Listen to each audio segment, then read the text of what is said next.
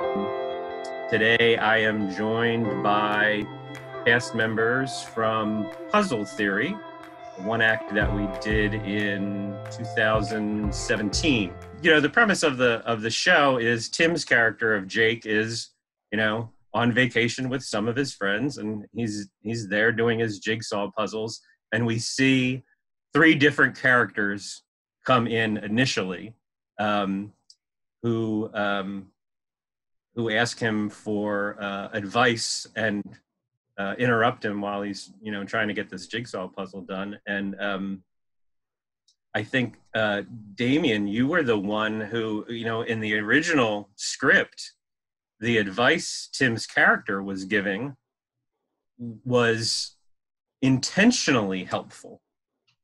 And i remember you saying to me at some point it might actually be funnier if he doesn't even realize that what he's saying is helpful and and his friends are the ones who figure it out. Do, do you remember that? Yeah yeah um in on the actual trip i wasn't so much giving people advice it's not, not that they were coming me for advice but when they come and sit down and just start talking and it's like two in the morning and you're drinking a little bit stuff just starts coming out you know you just start talking about what's bothering you and whatnot and then you just kind of hash it out so that's really what it was and in the script, he definitely had the character of Jake had all the answers to life's questions. And while that was interesting, I thought it would have been funnier if, like, what if he's just saying stuff to get people away from him so he can get back to his puzzle, you know?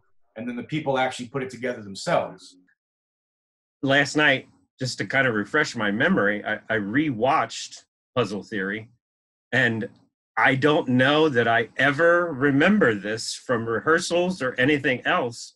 But Pat, when you come out and you've got your beer bottle, I'm pretty sure at some point you're singing a Sheryl Crow song.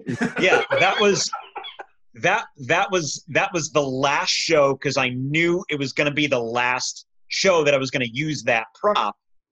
So it's one of the opening lines from All I Want to Do. I'm peeling the label from yes. the bottle and I'm singing, Billy likes to peel the labels from his bottles of Bud.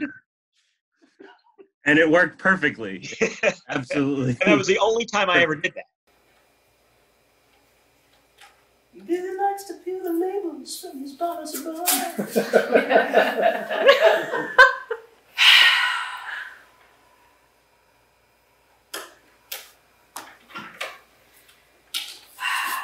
What? What? Advice.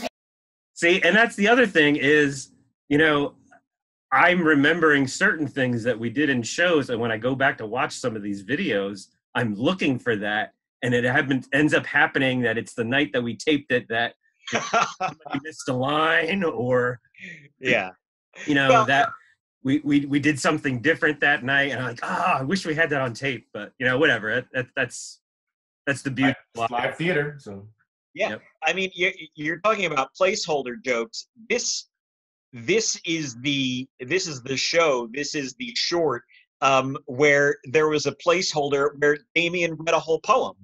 okay, okay, check this out. Um, what if I uh, start with something like, uh,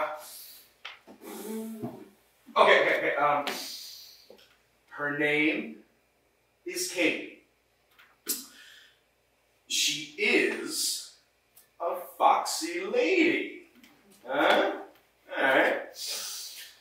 She drives me crazy like like like a female Patrick Swayze. um, uh, she does not drive a Mercedes but was born midway through the 80s. Oh, um, uh, uh, I like her more than spaghetti, all covered in gravy. Uh, she likes the movie Fight Club, oh, uh, which was directed by uh, Fincher, uh, who also directed Seven featuring Kevin Spacey. Oh, if we had sex, Nine months later, we'd have a baby! Maybe. Uh, I love you, Katie.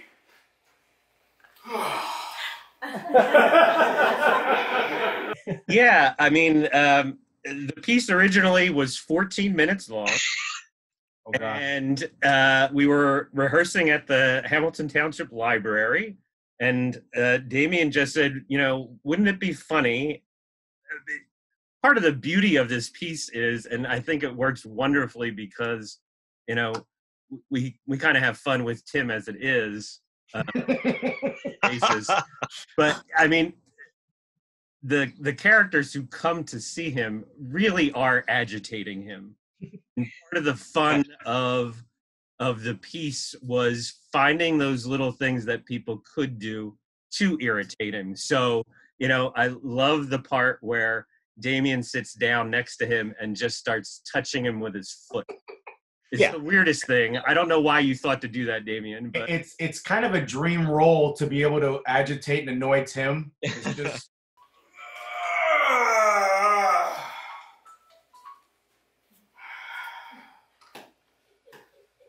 Uh, uh,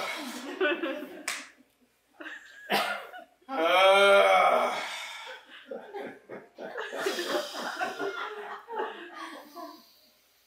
So how long does it take you doing these things anyway? Depends. On? Size, complexity, number of interruptions. Usually a couple of nights. Damn, you're good. This thing says 12 years and up.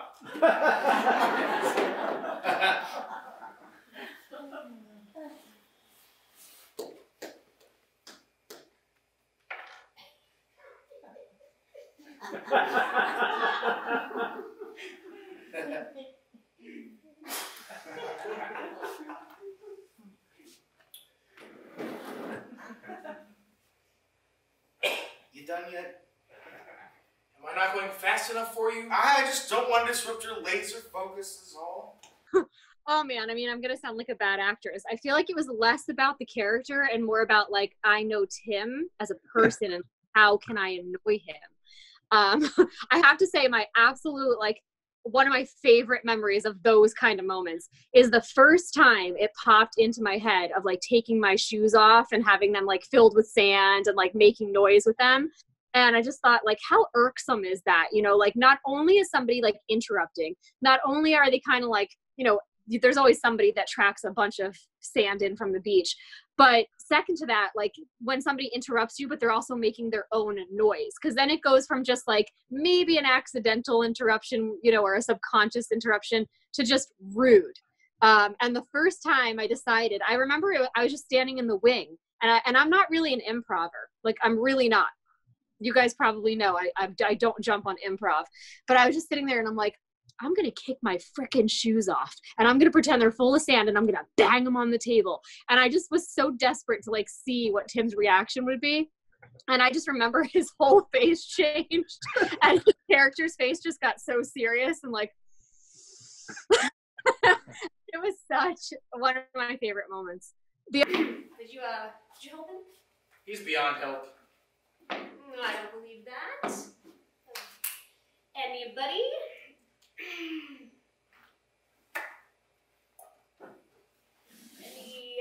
Anybody?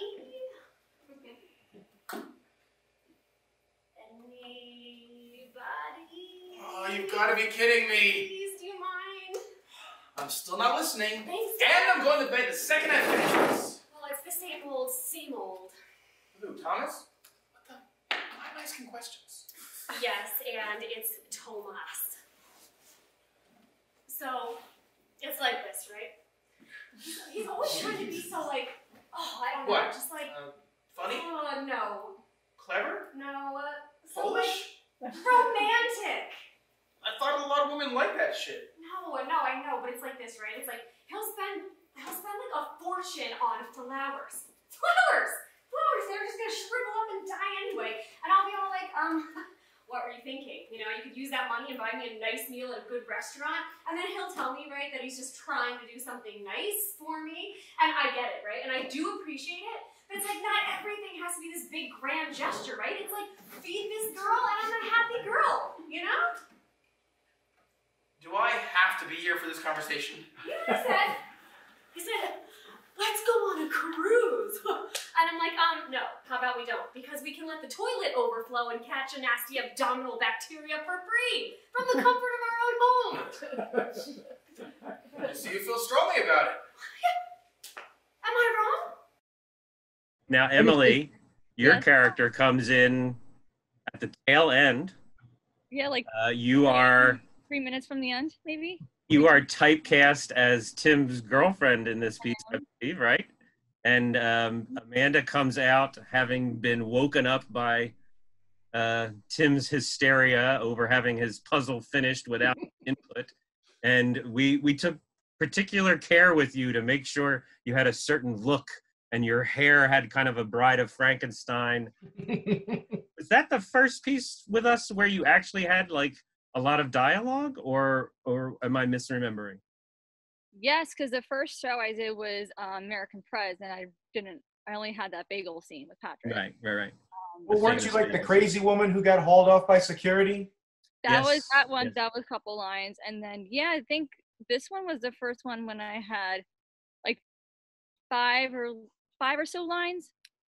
And you were like a real character. Yeah, and I was Exactly. a, I had a real, I had a real name, real character. And I was like, okay, I don't, I don't come until the end. I'm not just audience member. I'm not just bagel person. I have a character Right. name, and um, it's fun because I always in shows wear makeup, and that was like one of the first times I had to be natural in the middle of the night with my hair messed up, not Yeah. wearing makeup. So.